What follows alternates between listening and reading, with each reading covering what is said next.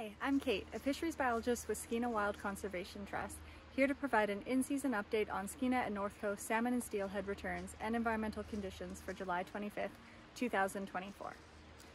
The information I'm sharing comes from the Department of Fisheries and Oceans, First Nations fisheries programs, in particular the Nisga'a Fisheries Program, and Environment Canada. And just before I get started, a reminder that if you are heading out fishing, please check your current regulations before you head out.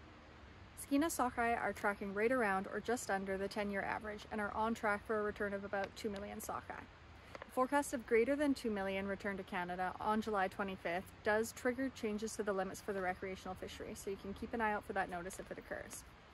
Skeena Chinook is tracking well below the long-term average and well below last year.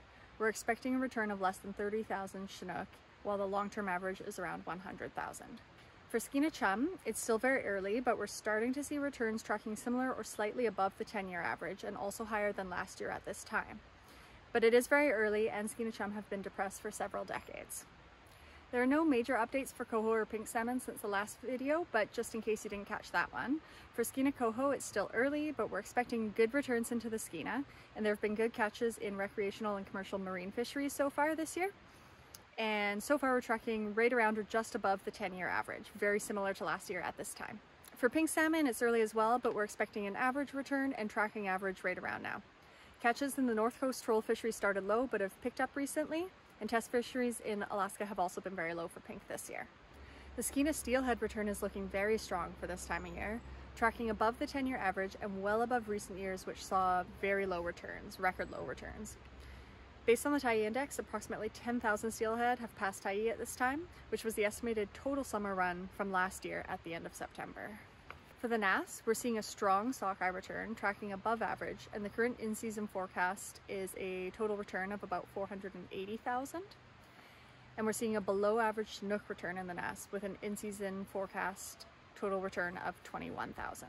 It's early, but we're also seeing strong steelhead numbers into the Nass right now, but below average coho returns. It's that time of year when freshwater conditions start to be pretty important for returning salmon, with sustained water temperatures above 18 and especially 20 degrees, causing physiological stress and negatively influencing migration and survival.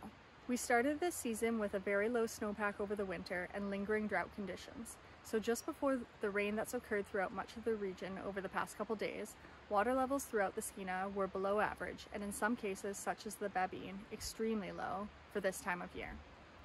With rainfall events, we typically see a quick rise in water levels, which we can see on the graph there, and then a fairly quick return to the prior levels unless the rain continues. However, it also provides some relief to water temperatures, which you can see by the drop in the yellow line on the graph. So some systems, which were already seeing temperatures above 20 degrees, have seen some relief in the past few days. Interior systems like the Bulkley and Babine, while still at lower water levels, have also seen some relief in temperature over the past couple days. In the Nass, water levels before the rain were right around their long-term average for this time of year, with water temperatures above long-term averages ranging from about 1 degree to about 5 degrees above average, depending where in the Nass. These systems also saw some temperature relief in the past few days. Thank you so much for watching this video and we'll have another update in a couple weeks.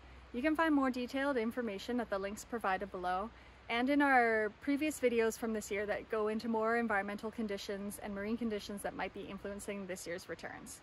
Feel free to reach out to us at info at with any questions.